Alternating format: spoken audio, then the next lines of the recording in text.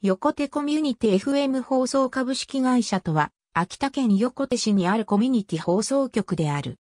愛称は、横手鎌倉 FM。他の CFM では見られないような経験を重ね、2011年の開局に至った。本社県演奏所は、東日本旅客鉄道横手駅東口地区の再開発事業によって完成した横手イーストの中にある。横手地域における平成の大合併を機に CFM 局の開設計画が進められ、運営会社設立準備中にイベント放送局横手にぎわいイベント FM を期間限定で開局した。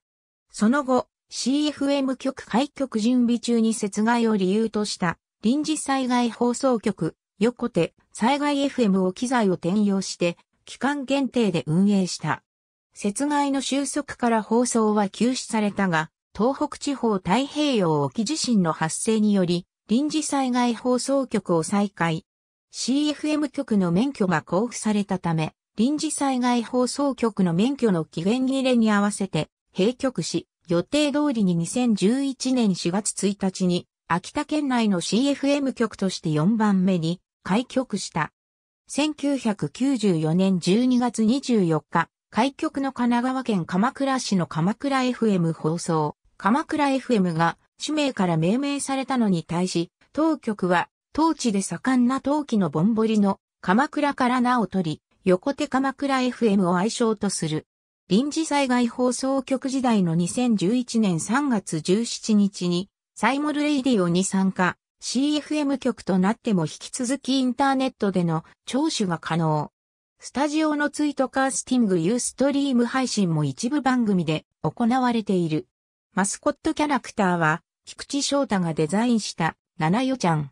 開局当初は親局のみだったが、横手市内全域を聴取範囲とするため、2012年4月に大森町、増田町、山内地区に8つの中継局を設置。2015年にはさらに2カ所中継局が設置された。日曜深夜も含め24時間放送で、自社制作番組以外の時間は、J-Wave の番組などを放送。2017年4月現在、北海道札幌市白石区の FM 白石、ウィズウェストの番組交換枠があり、当局でウィズウェスの番組が1時間、ウィズ S で当局の番組が1時間放送されている。FM 白石、ウィズ S でも水曜18時19時に放送レギュラー放送特別番組、鎌倉の例2009年6月、建設業振興基金による建設業と地域の元気回復助成事業に採択され、コミュニティ FM 横手推進事業に2500万円の助成金が支払われた。これを原資にコミュニティ放送の事業性の検証を目的として、2010年9月25日から12月31日まで開催された、よ、コテのにぎわい創出プロジェクト U22 に合わせて、イベント放送局、横手にぎわい、イベント FM が開局した。同局は、コミュニティ FM 横手推進協議会の事業管理者の名義で申請されている。識別信号は、横手にぎわい、イベント FM、周波数 77.4MHz、出力 20W で、横手市の世帯数の35.3%を占める11,145世帯をカバーし、午前7時から午後7時まで98日間放送された。2011年1月上旬より豪雪が市民生活に影響を与えていたため、横手市は1月11日午前9時に雪害警戒部を設置し、同日午後4時50分には、雪害対策部に格上げして対応したが、さらに雪害が深刻化したため1月24日午前9時50分に、雪害対策本部に格上げした。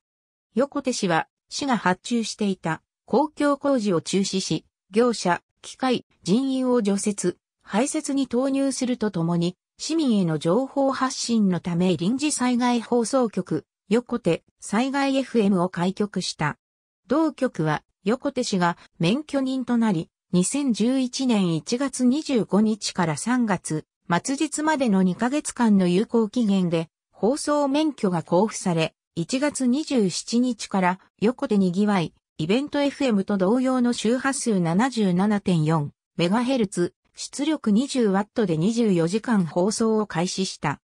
2月15日時点で、同市内では、死者5人、重軽傷者60人、建物被害174件、さらに果樹農業に深刻な被害が出たが、雪害が一応の収束を見せたため、免許期間を残しながら2月28日に放送は休止となった。3月11日午後2時46分頃に東北地方太平洋沖地震が発生すると、横手市は同日午後3時に災害対策部を設置した。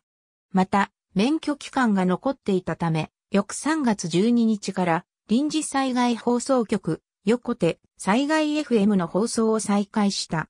3月17日には、サイマルラジオでの配信も開始。横手市では人的被害がなく、地震発生の翌日には、電気、水道もほぼ復旧したため、3月17日午後0時30分に、災害対策部は、震災支援対策本部に切り替えられ、市の活動は、被災地にいる関係者の安否確認及び、被災地支援活動が中心になった。3月29日、横手市と災害時緊急放送協定を締結し、CFM 開局後には、横手市の要請に従って、緊急放送を実施すること、2011年度に横手市本庁舎に設置予定の緊急割り込み装置を用いて、緊急時には自動的に当 CFM 局の放送に横手市が緊急告知を割り込ませることを確認した。協定締結を背景に3月30日18時をもって臨時災害放送局横手災害 FM の放送は終了した。10月3日、平成23年豪雪及び東北地方太平洋沖地震に際し、市民への情報提供に尽力したとして、横手市市政施行6周年記念式典において、同志より感謝状を贈られた。ありがとうございます。